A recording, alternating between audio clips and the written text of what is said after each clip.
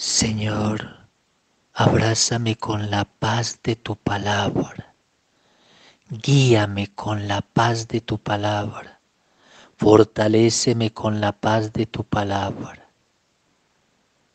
En el corazón de María Santa, que vivió la paz de tu voluntad y tu palabra, escucho tu divina y poderosa palabra. Amén, amén, amén. Amada familia, Dios que nos bendice con su poderosa palabra, esté con todos ustedes. Yo les anuncio la buena noticia de nuestro Señor Jesucristo según San Juan. Gloria a ti, Señor. Dijo Jesús a sus discípulos, les dejo la paz, les doy mi paz, pero no como la da el mundo. No se inquieten ni teman. Me han oído decir, me voy y volveré a vosotros. Si me amarais, os alegraríais de que vuelva junto al Padre, porque el Padre es más grande que yo. Os he dicho esto antes que suceda para que cuando suceda vosotros creáis. Yo no hablaré mucho más con vosotros, porque está por llegar el príncipe de este mundo. Él nada puede hacer contra mí pero es necesario que el mundo sepa que yo amo al Padre y obro como el Padre me ha ordenado. Palabra del Señor. Gloria a ti, Señor Jesús. No se inquiete vuestro corazón, no teman, no teman. Hoy el Señor nos dice, no teman, yo estoy contigo, yo estoy con ustedes. Si ustedes están conmigo, no teman. Ay Señor, pero mire todo lo que pasa en el mundo. Mire lo que está pasando en el mundo con esta pandemia, con tanta muerte, tanta guerra, tanto pecado, tanta maldad, tanta gente mala, tantos gobernantes destructores, tanta maldad que uno ve en los pueblos, tanta inseguridad, todas estas cosas terribles. No temas, no temas, tú confía en mí, yo te doy mi paz, yo te doy mi amor, yo te doy mi presencia. Señor, pero mire el demonio cómo actúa, mire la iglesia cómo está, tanta falta de fe, tanta desacralización en la Eucaristía, tantas cosas que pasan.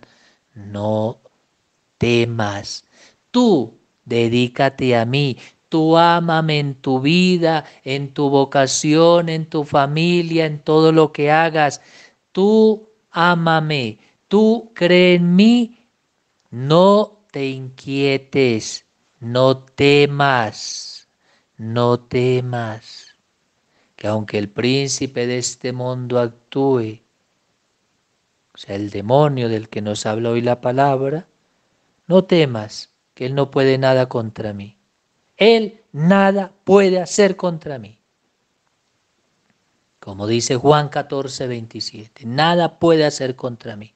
Señor, yo creo y no voy a temer, porque el enemigo no puede nada contra mí. Podrá atacarme, acecharme, molestarme, hacerme daño, pero no puede nada contra mí, porque tú estás conmigo, Señor. Dígale eso. Dígale eso a las situaciones, a las maldades de los enemigos. Tú no puedes nada contra mí, porque el Señor está conmigo y Él me ha dicho que no tema porque Él responde por mí. Él responde por mí. El Señor responde por mí y me da su paz y me da su valor y me da su valentía. No te inquietes ni temas, dice el Señor. Juan 14, 27. No te inquietes ni temas. Yo estoy contigo, dice el Señor. El príncipe de este mundo nada puede contra mí, dice el Señor. Digámosle al Señor que nos dé valentía que nos dé fortaleza, que nos dé firmeza contra todos nuestros miedos, contra todos nuestros temores, contra todas nuestras cobardías. A todos nos da miedos en la vida. Todos nos sentimos cobardes ante las situaciones, pues invoquemos el nombre del Señor para que no se inquiete nuestro corazón ni temamos. Que si Dios está con nosotros, ¿quién estará contra nosotros? Debemos ser cristianos valientes, no quejambrosos, ni cobardes, ni miedosos, sino valientes y fuertes con el poder de Dios, no con nuestro propio poder, no con nuestras propias fuerzas, es con el poder de Dios. Nosotros somos débiles pecadores que nada podemos, pero Dios tiene el poder. Dios tiene la grandeza. No temas, Dios está contigo. Mire, cuando usted esté angustiado, cuando esté triste, cuando parece que las oscuridades de esas situaciones llegan a su vida y le están cubriendo su vida y su familia, cuando las cosas parece que no salgan por ningún lado, cuando llegan las enfermedades, las aflicciones, parece que todo es tinieblas, usted arrodíllese ante Dios arrodíllese ante Dios, levante sus manos al cielo o abra sus manos en forma de cruz y dígale, Señor, si tú estás conmigo, no temeré. Tú me has dicho que no tema. Tú me has dicho que no tenga miedo. Pues aquí estoy, Señor, ante ti para entregarte mi vida y pedir tu fortaleza para no temer estas duras batallas y las venceré, porque el maligno, porque los malignos y los enemigos no pueden nada contra ti. Yo soy débil, yo soy pobre, yo soy una persona pecadora, pero contigo venceré y no temeré, Señor, porque mi fuerza y mi poder eres tú. Como dice Éxodo 15, mi fuerza y mi poder es el Señor. Digámosle eso al Señor. En tiempos por allá del siglo segundo, por allá en el siglo segundo y tercero, había un hombre que se llamaba Florian, Florian. Pues este hombre comandaba la armada imperial era el responsable de las brigadas de aquel tiempo para el imperio. Los romanos luchaban contra la expansión del cristianismo porque le temían a los cristianos por el poder de su fe y enviaron al cónsul que se llamaba Aquilinos para acelerar la persecución hacia los cristianos. Los perseguían, los encarcelaban, los torturaban y los mataban. Entonces este cónsul Aquilinos propone a Florián de ofrecer un sacrificio a las divinidades romanas, o sea, a los demonios. Pero Florián, quien era cristiano, ocultamente, dijo, no, rechazo totalmente estas divinidades. Y dijo, yo soy cristiano. Se dio a conocer como cristiano aquel hombre que tenía poder en el imperio. Así que fue perseguido, capturado y torturado cruelmente pero él decía, yo soy cristiano. Y aunque el poder en este mundo lo tengan ustedes para torturarme, para hacerme daño, su poder es nada a la gloria que tendré en la eternidad. Entonces, después de torturarlo tanto, porque no negaba a Cristo, al final fue arrojado al río con una gran piedra atada alrededor del cuello.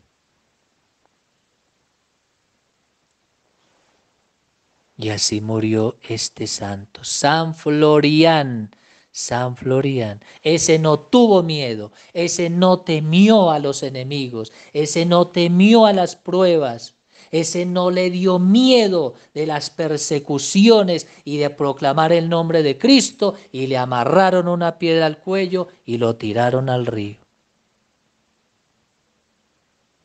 Amada familia, somos cristianos. Tenemos muchas pruebas, todos. Tenemos miedos y temores. Hay cosas duras en nuestra vida, en nuestro hogar, en nuestras familias, en nuestros trabajos, en esta sociedad. Pero aferrémonos a Dios. Cuéntele a Dios sus temores, cuéntele a Dios sus miedos, cuéntele a Dios sus pruebas, cuéntele a Dios sus tentaciones, cuéntele a Dios lo que está pasando, cuénteselo todo a Dios y pídale al Señor la fuerza, pídale al Señor la fortaleza, Pídale al Señor la valentía para vencer esos temores y vencer todo en su nombre lo que esté viviendo. Y verá la gracia de Dios en su vida y verá el poder de Dios en su vida, porque cuando uno confía en Dios, no queda defraudado.